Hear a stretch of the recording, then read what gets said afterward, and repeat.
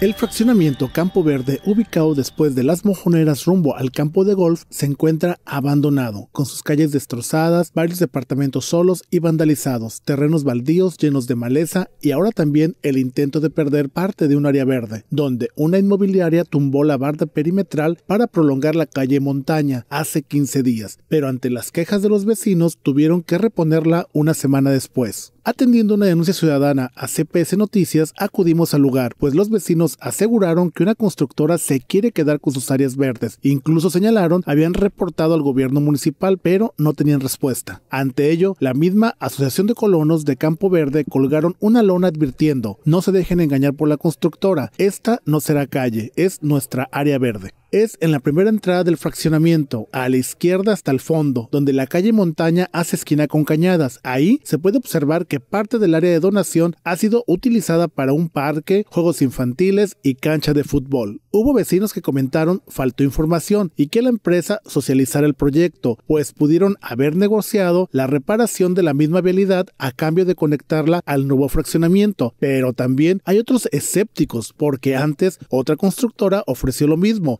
solo destrozaron las calles y al final se olvidaron de ellos. Prometieron estarán vigilantes para que no invadan ni se apropien de sus áreas comunes. Con imágenes de Itzia Rodríguez para CPS Noticias, Miguel González Guerra.